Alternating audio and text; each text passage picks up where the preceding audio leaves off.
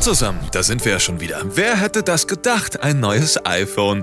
Das neunte mittlerweile seit 2007. Und hat sich was getan? Ja, einiges. Wobei dieses Mal der Sprung vom 6 auf das 6S meiner Meinung nach auch ein vollwertiges 7er hätte sein können.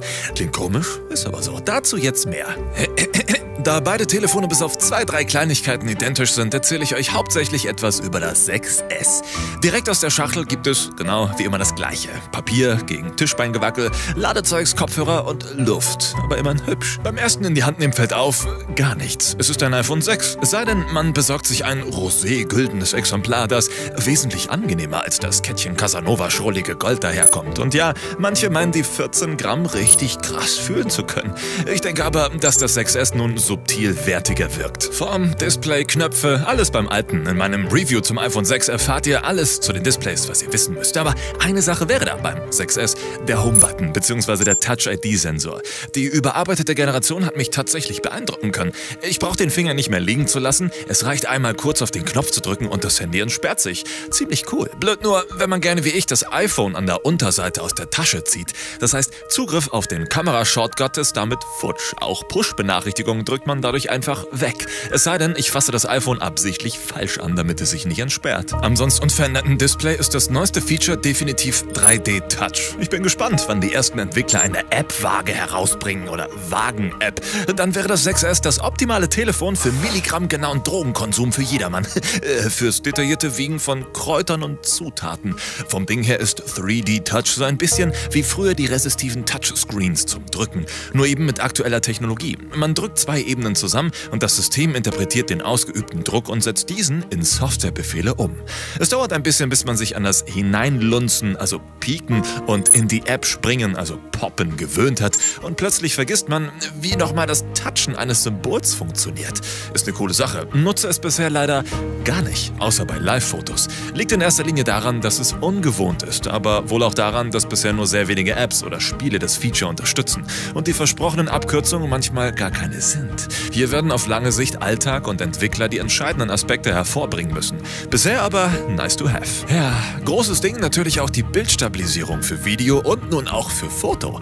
Digital gegen optisch im 6S Plus. Im Endeffekt funktionieren beide Stabilisierungen wie auch beim Vorgänger gut, sind jedoch sehr anwendungsspezifisch. Das heißt, simulierte Kamerafahrten aus der Hand beispielsweise machen keinen Unterschied.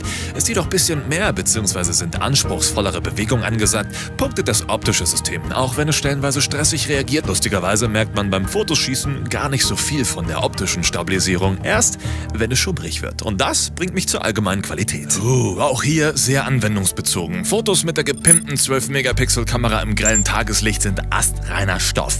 Das heißt scharf, farbecht und dynamisch. Im HDR oder auch im neuen hochauflösenden Panoramamodus lässt sich so noch sehr viel herausholen. Auch im Nachhinein mit Apps. Das ist ziemlich beeindruckend. Ja, vor allem, wenn ich darüber nachdenke, Zubehör wie das Moment Case mit Weitwinkel und Co. einzusetzen, das lässt das Filmerherz ernsthaft höher schlagen. Ebenso bei der Frontkamera. 5 Megapixel Selfies mit nun vernünftigem HDR sind eine erstaunlich gut funktionierende Ansage. Seht ihr ja selbst, das Spielen mit den Schärfeebenen der Hauptkamera macht Spaß, doch Detailaufnahmen sind immer eine Herausforderung aufgrund des Autofokus. Nimmt man der Kamera aber das Tageslicht weg, dann wird's ähm, anders. Plötzlich wirkt es nicht mehr wie mit einer nicen Kompaktknipse geschossen, sondern sieht eben aus wie ein Handyfoto. Moment, ich spiele euch kurz die First World Problems Klaviatur im Komplettmodus. Farben werden matt, Details verschwimmen, Dynamiken werden unschlüssig und das nicht etwa erst, wenn es furzdunkel ist. Es reicht, wenn man im Schatten steht oder einfach zu Hause drauf losknipst. Sieht aus, als würden im Hintergrund kräftig Automatiken ihr Bestes versuchen. Aber immerhin, der Retina-Display-Blitz funktioniert und das sogar effektiv. Ich meine, so helle Selfies gab's noch nie, heiliger Bimbam. Flash! Das war ja komisch. Achso, ja, das gilt übrigens auch für Videos. Halleluja, endlich ist 4K möglich, sogar ohne 5-Minuten-Begrenzung. Insgesamt wird ein stimmiges Ultra-HD-Bild abgeliefert, doch mit Details tut sich der Codec schwer. Detaillierte Strukturen enden gern im auffälligen Pixelbrei. Sehr schade, da man mit 4K hin und her skaliere, wenigstens seine HD-Projekte hätte aufwerten können. Theoretisch müsste hier aber per Software-Update oder Drittanbieter-Apps mehr drin sein. Zur Zeitlupe habe ich übrigens nichts Neues zu berichten, auch nicht zum Zeitraffer. Nette Spielerei wie bisher, aber nur, wenn es wirklich hell ist. Oh, mit den Aufnahmen von Front- und Rückkamera können nun sogenannte Live-Fotos gespeichert und auch per iMessage und iCloud geteilt werden, selbst wenn jemand anderes kein 6S hat. Cool.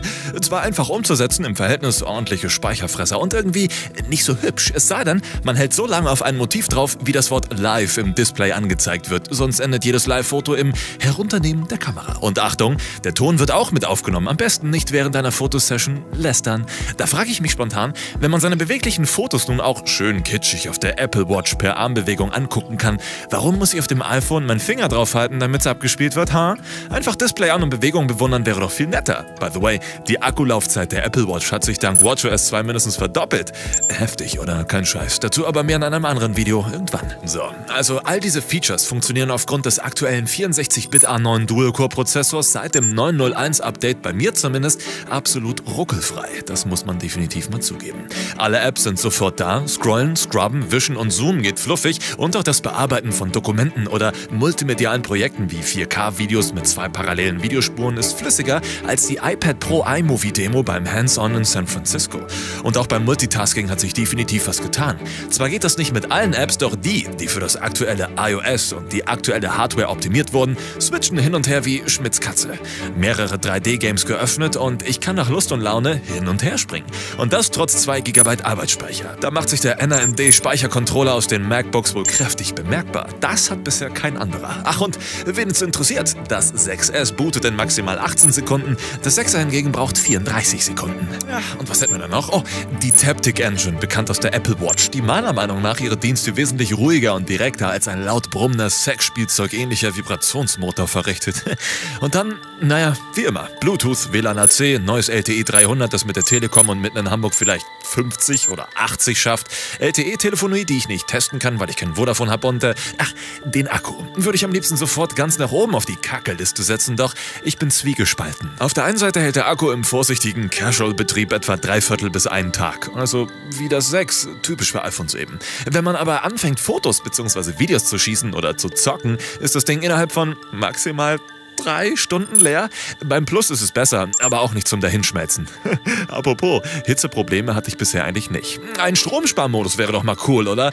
Gibt es sogar. Bringt nur überhaupt nichts. Ich kann auch mit Stromsparmodus und einfachem WhatsApp-Gedudel im Minutentakt die Prozente purzeln sehen.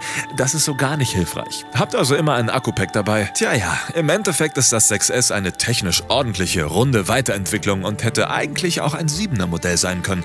Die Euphorie bleibt jedoch an der Tatsache hängen, dass Apple ohne weitere Erklärung mit ernsthaft interessanten Möglichkeiten auf uns zukommt, die wir noch nicht wissen, im Alltag vernünftig anzuwenden, es aber mit Sicherheit bald werden, denn die Einfachheit der Umsetzung ist konkurrenzlos. Es liegt also ganz an uns, ob wir bereit sind, mindestens 700 Euro in die Hand zu nehmen und zur Etablierung zukünftiger Features beitragen wollen, oder ob wir einfach alles doof finden und uns im ewig langweiligen Kreis der übertriebenen Schema F Android-Geräte schlafen legen.